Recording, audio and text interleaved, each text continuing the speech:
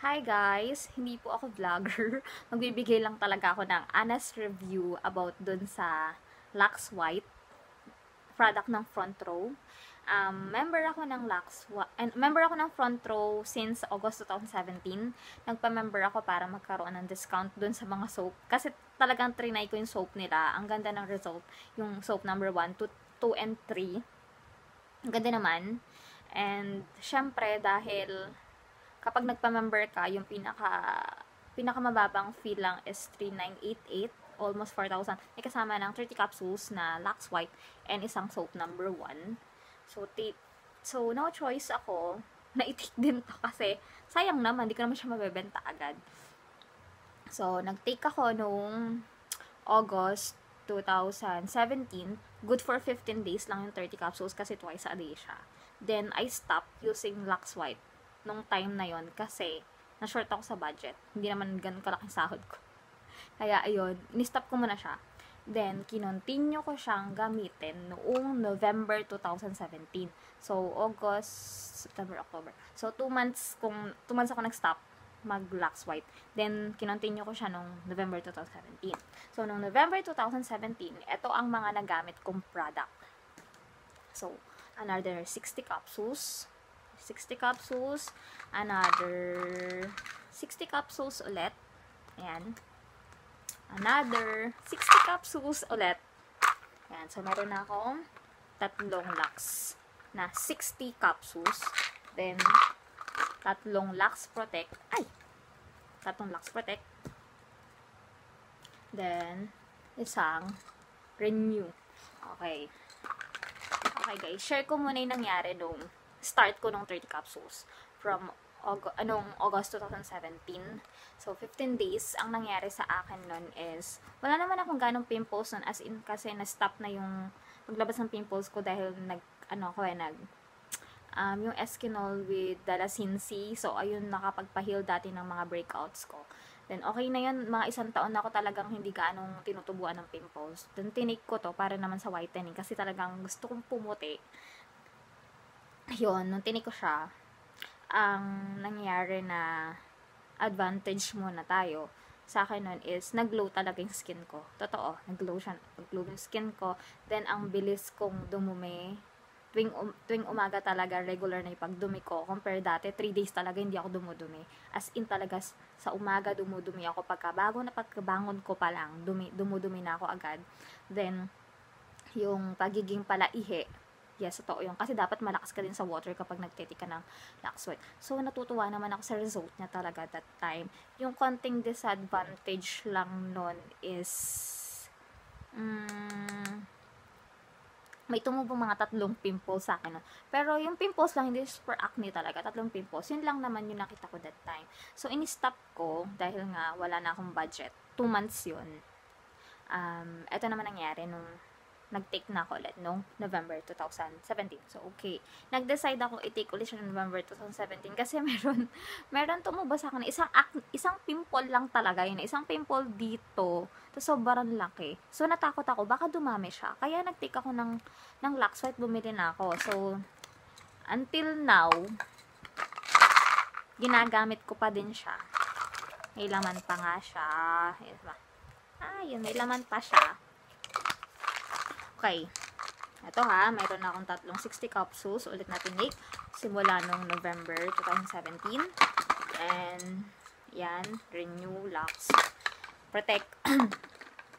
Ang nangyari naman, so, simula na tayo dun muna sa advantage na nangyari. Kasi konti lang advantage nung pangalawang subok ko na.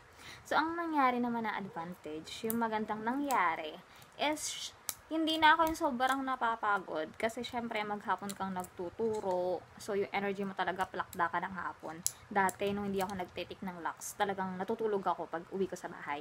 Then nung nagtake na ako ng lux ulit hindi na ganun kabigat yung katawan ko and nakakatulog talaga ako ng maayos. Lalo na din dun sa pagdumi regular siya tuwing umaga. Tsaka yung pagiging palaihi kasi kailangan ko yung kasi palagi ako may UTI so ayun yung advantage. Then, pumuti ako ng very, very light lang. Konti lang talaga. As in, yung legs ko lang yung pumuti sa totoong buhay. Pero yung muka, yung ganito, hindi ko naramdaman na as in pumuti talaga. Um, ito na tayo sa mga disadvantage. So, hindi ko sinisiraan yung product na to ha. Um, honest review ko lang talaga. Kasi, nanonood din ako ng mga review. So, iba-iba talaga. Iba-iba talaga. Hindi, hiyangan lang talaga yung product na to. Yung tatlong product na to, hiyangan siya. Then, ayun nga ang nangyari. Um, I take Lux White twice a day, umaga-gabi. So, nagka-breakout ako 3 days pa lang, nagka-breakout na talaga ako. Sobrang daming pimples na nasa silabas. As in, dito, dito, as in, minsan pati sa kilay. So, sabi ko, baka purging lang to. Ganon. So, tinapos ko siya, one month, so bumuli ako ulit, sinabayan ko ulit ng Lux Protect. So, wala pa rin nangyari. Lalong dumaming breakout ko.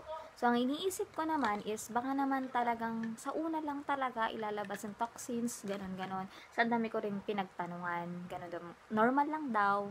So, sige, 2 months. Sige, siguro may 2 months naman na purging. So, yun, tinake ko ulit. Bumili ako ulit ng pangatlong bottle. Ito na yung, ito na yung last, yung pangatlong bottle na, ito. Kasi, once a day ko na lang siya tinetake simula nung nagka-breakout ako. So, sinasabayan, sinasab, sinasabayan ko na lang siya nitong Lux Protect. So, yun. Ayan. Pakita ko ang nangyari sa face ko. Ayan siya. Okay, bukod dun sa, ayun nga, yan, nagka-breakout na yan. Kahit sa kapal ng makeup kitang-kita pa din. Um, hindi na siya effective as whitening para sa akin. Kasi hindi na ako pumuti as in, parang walang nagbabago sa balat ko. As is pa din ng bakasyon. Ganun pa din. Parang, kung sa whitening effect, mas effective yung mga soaps niya. Yung soap number 1, 2, and 3. And pinaka-effective na whitening is yung soap number 3 ng front row. So, bukod doon, hindi na nga natanggal yung breakout ko. So, pinag-iisipan ko ngayon kung ubusin ko pa ba yung tirang capsule na to. Kasi as in, everyday, may bago akong pimples na lumalabas. Never silang nag-stop simula nung November 2017. June 2018 na po. Kaya, non-stop yung breakout. Kaya, halos lahat ng space ng mukha ko nagkaroon na ng pimples. Dry na yung iba, pero syempre yung mark na iniwan. As in, ala, ang pangit na. Yon So, um, yung pinaka-summary is yung sa advantage na advantage na nangyari sa akin. Siguro sa inside the body, maganda yung effect niya sa akin. Um, pero yung outside nga, yung sa pampapaputi and sa pantanggal ng pimples, imbis na tanggalin, so nagka-breakout ako. So marami na ako nakitang reviews din na nagka-breakout sila. So, meron din, nag, meron din ako napanood na review na effective sa kanila. So, ibig sabihin, hiyangan lang po ang pag-take, ang pag, ang effect ng Lux.